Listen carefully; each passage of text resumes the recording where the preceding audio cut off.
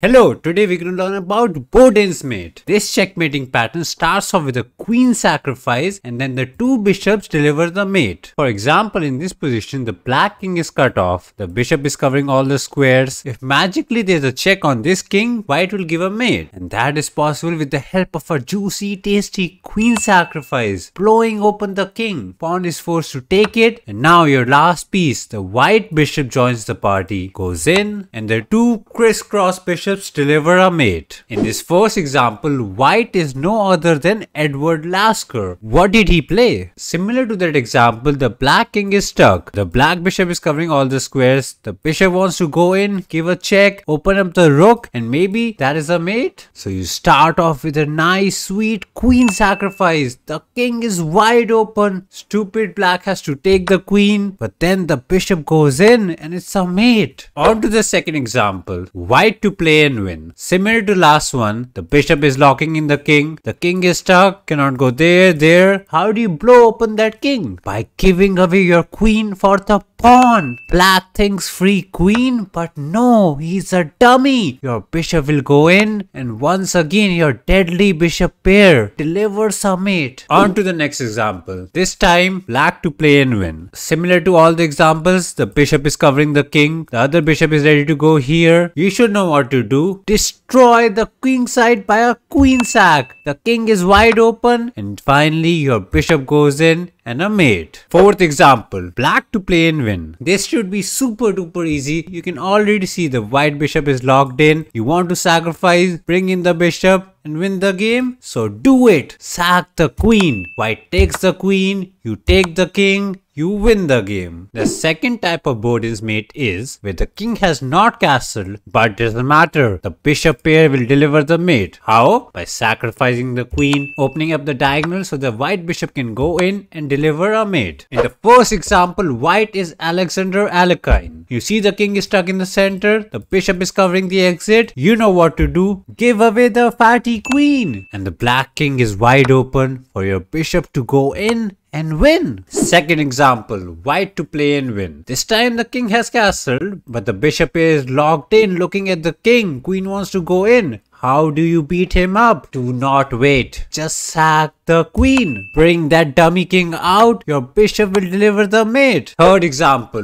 white to play and win. Black king is in the center. Bishop is ready. The other bishop wants to go in. You know the pattern. Sacrifice the queen. Distract this dummy bishop so that your other bishop can go in. Block, take, and you win. Last example, black to play and win. The bishop is covering the diagonal. The rook is covering the file. If this bishop reaches here, it's a mate. You can do that by sacrificing your queen. White is forced to take the queen, lose the rook and lose the game.